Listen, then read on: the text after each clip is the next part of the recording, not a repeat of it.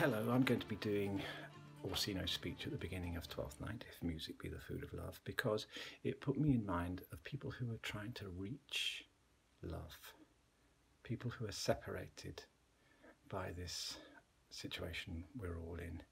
Sometimes people who love each other are just round the corner from each other, or sometimes they're hundreds of miles, sometimes they're thousands of miles. People who love each other on the other side of the world, trying to reach each other. It would be rather like being on an exercise bike which goes nowhere. For now. Thank you.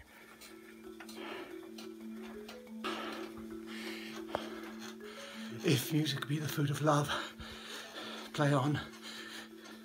Give me excess of it.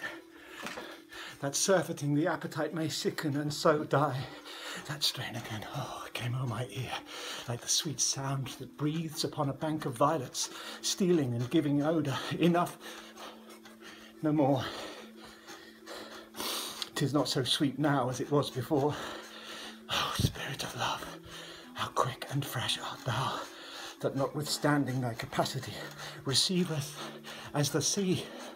Naught enters there of what validity and pitch soe'er, but falls into abatement and low price, even in a minute. So full of shapes is fancy, that it alone is high fantastical.